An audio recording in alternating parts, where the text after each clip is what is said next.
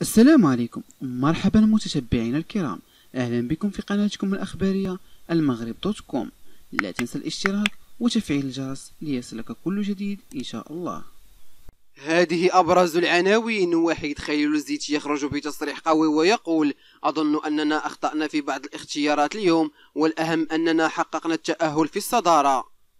أكد الناخب الوطني وحيد خليلوزيتش أن المنتخب الجابوني كان خصما قويا في اللقاء الذي جمعه بمنتخب المغرب اليوم لحساب الجولة الثالثة من دور المجموعة لكأس أمم إفريقيا توتال إنرجي الكاميرون 2021 وقال وحيد خليلوزيتش في تصريحه بعد مواجهة منتخب الجابون لا يجب انتقاد اللاعبين بل أنا الذي أتحمل المسؤولية. أظن أنني أخطأت في بعض الاختيارات.